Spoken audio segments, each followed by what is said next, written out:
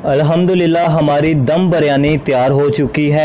अस्सलाम वालेकुम नाजरीन। मैं हूँ आपका मेज़बान वकार यूनस और आप देख रहे हैं पाकिस्तान न्यूज़। नाजरीन, आज हम आपको दम बिरयानी बनाने का आसान तरीका बताएँगे। तो ये हमारे कुछ मसाला जात हैं जो हमारी दम बिरयानी में जाएँगे, जबकि हमारे पास है नमक और हमारे पास है धूड़ा मिर्च, सुर्ख मिर्चों का पाउडर और हमारे पास है गरम मसाला, बिरयानी मसाला, अदरक और लहसन का पेस्ट हमने पहले ही बना के रख लिया था और हमारे पास है दही। और हमारे पास है कुछ चिकन, पुदीना और धनिया, टमाटर, प्याज, लेमन और कुछ मिर्चें हमारे पास मौजूद हैं। सबसे पहले हम प्याजों को काट लेंगे। प्याज को ब्राउन होने पर रख दिया जितनी देर तक अब ये ब्राउन नहीं होते, तब तक हम अपना दूसरा काम करेंगे। हम चिकन में ये सारी चीज़ें डाल लेंगे जो हमारे मसाला जा जो कि आपको दिखाए थे, ये सारे चिकन में डालेंगे।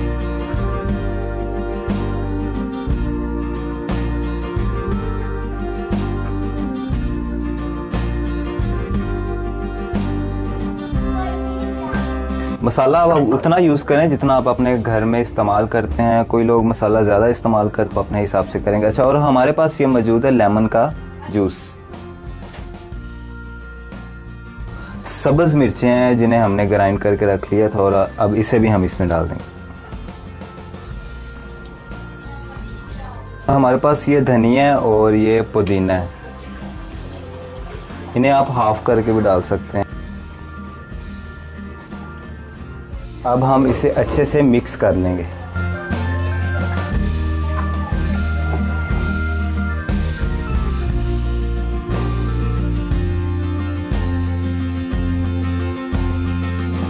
अच्छा ये ऑयल जिसमें हमने प्याज ब्राउन किए थे, अब हम इसमें चिकन डाल देंगे।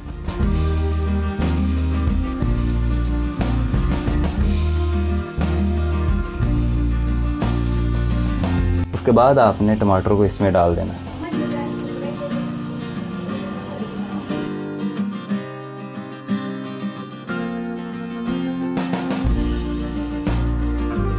अब हम इस पे ढक्कन दे देंगे ताकि तब तक ये अच्छे से पक जाएगा।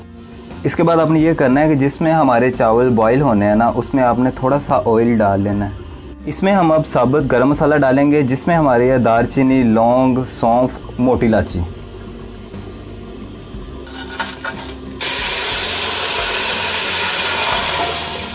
जी, अब हमने इसमें पानी डाल दिया हुआ है। ये करने के बाद आपने इसमें दो चम्मच नमक भी डालना है।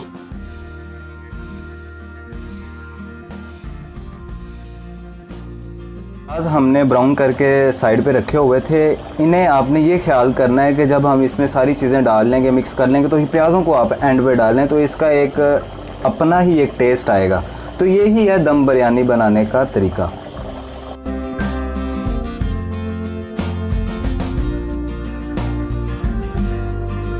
जब तक हमारा मसाला अच्छे से बन नहीं जाता, तब तक हम चावलों को अच्छे से धो लेंगे।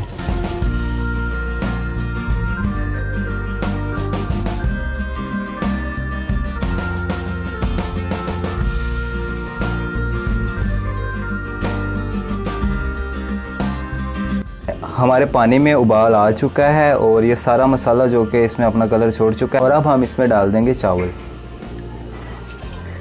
चावल को आप इस तरीके से डालें, किसी चम्मच वगैरह या किसी ऐसी चीज़ से डालें ताकि चावल ना पानी में आ जाए। अगर आप अपने हाथों से डालेंगे तो पानी गरम गरम होता है तो इसकी छींट का भी आप पे गिरने का खतरा हो सकता है। तो चावल हमने इसमें सारे डाल दिए हुए हैं। मसाला भी हमारा अब तकरीबन अच्छे से तैयार हो ही चुका है। हमारे चावल अच्छे से अब गल चुके हैं। अब हम इसका पानी निकाल लेंगे। इसका अच्छे से पानी हम निकाल लेंगे। जी, अब तो इसका हमने पानी निकाल लिया। ये चावल हमने इसमें डाल दिया हमें चिकन डालेंगे।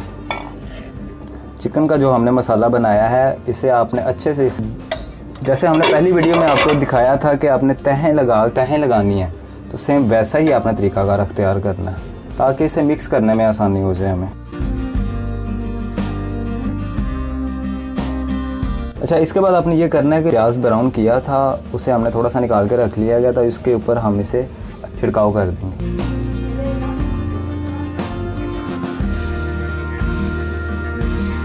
अच्छा तो एक चुटकी आपने गरम मसाला लेना है।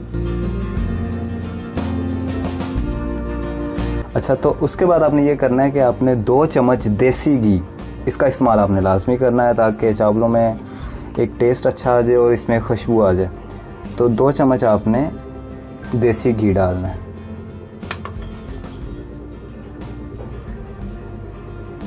फिर चावल इसके ऊपर डालेंगे।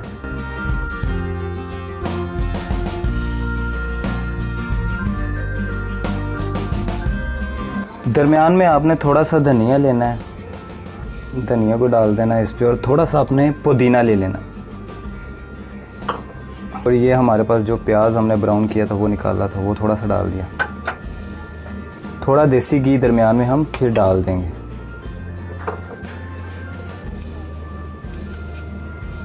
जी, अब हमारा काम तो तकरीबन सारा कंप्लीट हो चुका है और थोड़ा सा धनिया हम फिर दोबारा से इस पे ऊपर थोड़ा सा डाल देंगे, इसी तरह छिड़काव कर देंगे इसका। और ये पुदीना हमारा। ये जो ब्राउन प्याज था, हमारे पास वो कर देंगे। और एक चुटकी गरम मसाला आपने फिर डालना है। हमारा है जरदा कलर।